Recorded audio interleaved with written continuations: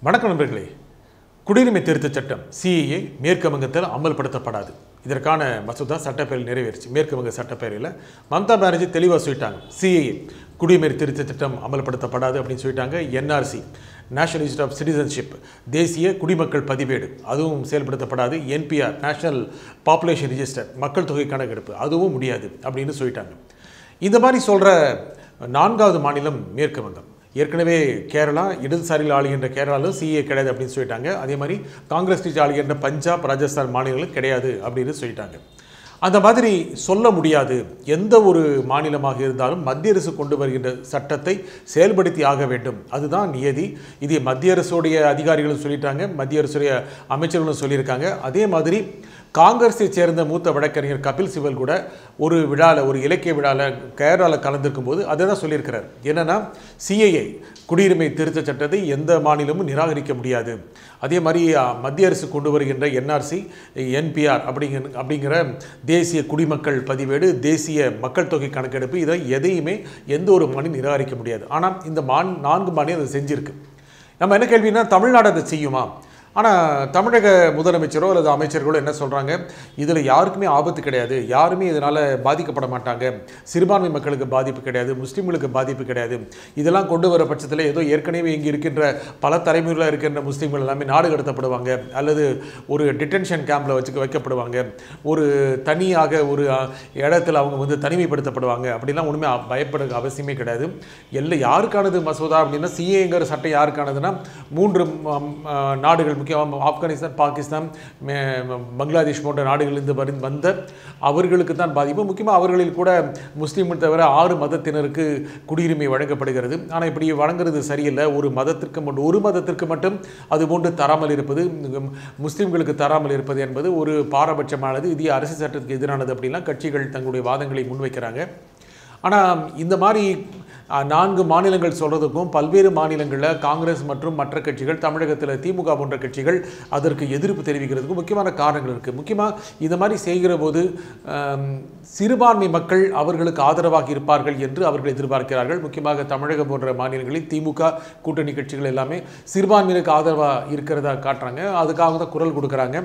ஆனால் காங்கிரஸ் போன்ற கட்சிகள் என்ன சொல்லுதுன்னா அவர்கள் எங்கெங்கெல்லாம் ஆர்ப்பாட்டம் எதிர்ப்பு குரல் எழுப்பினார்களோ ஆர்ப்பாட்டங்கள் செய்தார்களோ அந்த இடங்களெல்லாம் சிறுபான்மை மக்கள் முஸ்லீம்கள் மட்டுமல்ல இந்துக்களும் கூட இதற்கு ஆதரவாக திரண்டிருக்கிறார்கள். ஆகையால் இது மக்களுக்கு எதிரான சட்டம். ஆகையால் இது எல்லோரும் சேர்ந்து எதிர்க்க வேண்டும் அப்படின்னு சொல்கிறாங்க இடதுசாரிகள் சொல்கிறாங்க ஆனால் அப்படி அல்ல. தமிழகத்தை பொறுத்த வரைக்கும் சிறுபான்மை மக்கள் ஆதரவாக இருக்காங்க. அதே மாதிரி இந்துக்களில் கூட பெரும்பான்மையானவர்கள் பலர் பெரும்பான்மை சொல்றதை விட பலர் திமுகவுடைய க ஆஹ், திமுகவுடைய அழைப்புகளுக்கு ஆதரவாக இருந்திருக்காங்க. இன்னும் கூட பல ஆர்ப்பாட்டங்களை போராட்டங்களை கூட்டங்களை திமுக கூட்டணி நிகழ்ச்சி நடத்த போகுது. ஆனால் தமிழக அரசு அதற்கான எந்த இடமும் காண்பிக்கல. இது எதிர்ப்பு கூட காண்பிக்கல.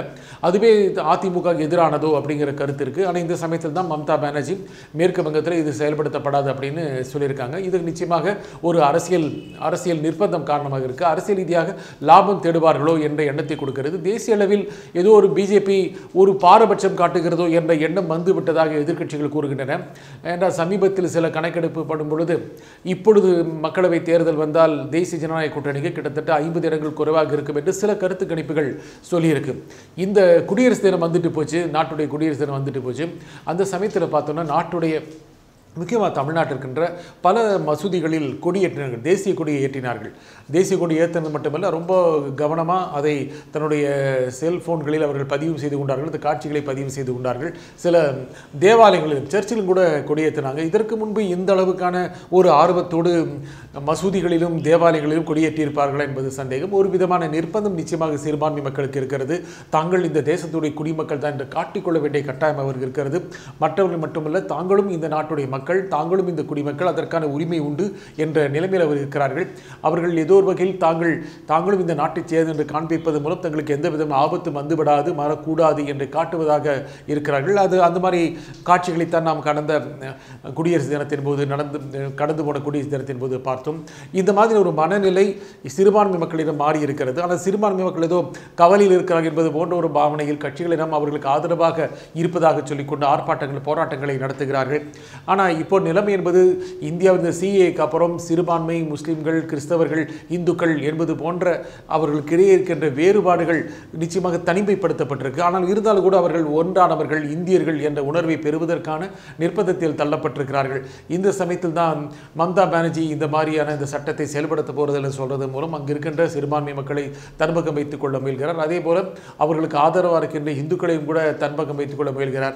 தமிழகம் போன்ற கட்சிகள் தமிழகம் போன்ற மாநிலங்களில் இந்த சட்டங்களுக்கு ஆதரவாக இருக்கும் அதிமுக போன்ற கட்சிகள் எப்படி நிலைப்பாட்டை முன்வைக்கும்? அவர்களுக்கு எந்த விதமான எதிர்வினை கிடைக்கக்கூடிய வாய்ப்பு இருக்கிறது என்பதை தேர்தலில் காட்டும். இருந்தாலும் கூட ஒரே மூச்சாக திமுக போன்ற கட்சிகளுக்கு எதிராக தங்கள் நிலைப்பாட்டை காட்டிக் கொண்டிருக்கின்றன.